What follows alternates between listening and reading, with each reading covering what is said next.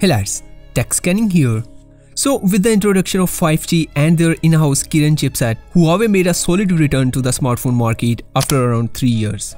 And now, as per some reports, the brand is planning some big changes in the camera system of its upcoming flagships, the Huawei P70 series.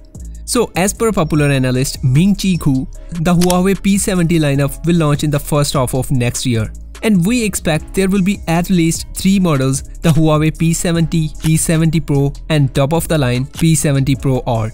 So according to the Ming Chi Kuo, the Huawei P70 series may see a growth of up to 15 million units compared to the 4 to 5 million of the Huawei P60 series. And it looks like one of the reasons will lie in the camera system of the P70 series by enhancing that device's optical capabilities. So as per Kuo, the periscope telephoto camera on the standard Huawei P70 will bring a lens made of 5 plastic elements and a sensor size of 1 over 3.6 inches.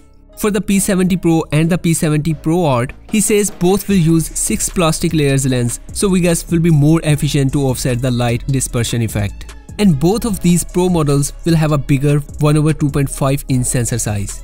So we can expect this upgrade will allow the camera to capture clearer pictures and take care of the light in a better way than their predecessors.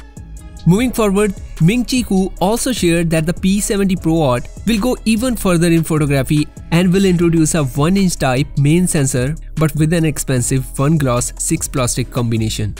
For reference, Apple also adopted a hybrid lens design composed of 1 glass and 3 plastic on its iPhone 15 Pro Max, and we know that it served quite well.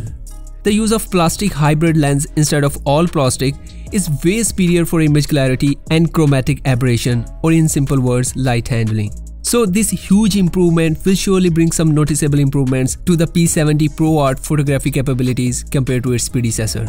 Besides camera, the Huawei P70 series is set to switch to the Huawei's self-developed 5G Kirin chipset instead of 4G Snapdragon chipsets. However, so far it is not known whether it will be the same Kirin 9000S that we saw on the Mate 60 series or a different one. Anyway, I will keep you updated as soon in the future there will be more details regarding the lineup. So be sure to subscribe and hit the bell button. And I will see you in the next video. Until then, take care.